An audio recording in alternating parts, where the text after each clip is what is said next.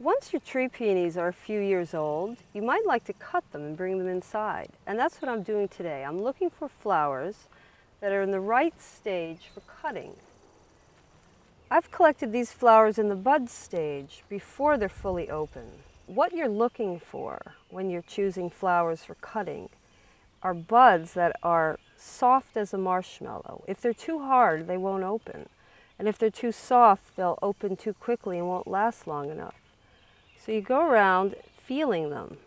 I found this bud, which I think is just right, and I will not take much foliage because I don't want to sacrifice the stem. I like collecting water picks because it's convenient, but you could do any of this in uh, just a bucket of water.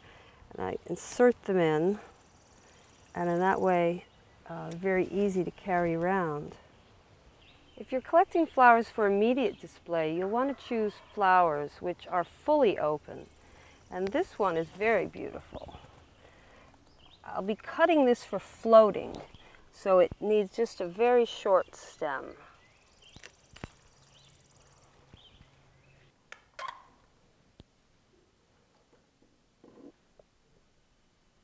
Now that we've brought the flowers inside, there are a number of ways to display them.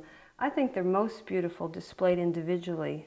Here we've placed them in flute glasses and bowls floating individually, sometimes with a little additional foliage or with the stems cut very short and floating in a shallow bowl.